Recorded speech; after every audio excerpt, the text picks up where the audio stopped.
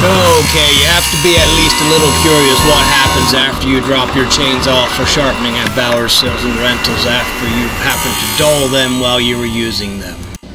Of course, your first step is to bring them into our front doors to the front counter and work together with whoever is servicing the customer today. In this case, Quentin took care of this customer, writes up the work order, charges the customer according to the amount of chains being brought in. There's an order put in the system.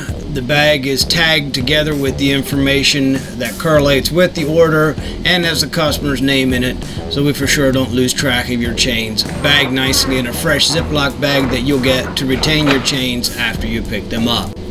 The job appears on a work order board just like any other work order going through our system. In this case, Nathaniel's responsible for the sharpening and he collects the order, finds the chains, sorts them out, measures them to for sure know what size he's working with. In this case here, 0.325 chain. So everything's set up or near set up on the grinder to sharpen that pitch chain but the length needs to be adjusted, the tension adjusted accordingly so it holds the chain tight. Make sure that we have our spacing set correctly. We go through a few adjustments to make sure that the angles are set.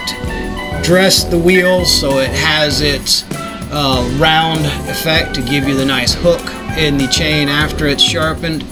Once everything's set, relatively confident we have the right settings, adjust the depth that's going to be cut into it, and away we go. After it's set up, Nathaniel watches it to make sure it's cutting correctly, getting all the final adjustments right, and at that point, the Franzen fully automated machine takes care of sharpening your chain, and he can walk away from its operation.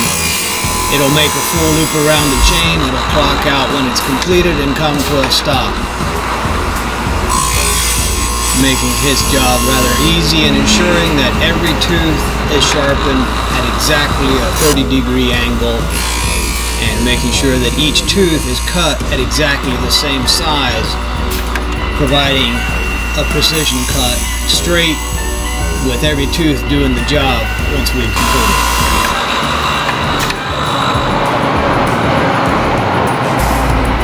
When the machine completed its duty, the chain is removed together with the other chains that have been sharpened, bagged back into a clean Ziploc bag again to keep them safe until you pick them up. Job is marked complete. Upon completion, you get a text message to let you know the chain has been done and it's put back into its bin so we know where to find it when you come to pick up your chain.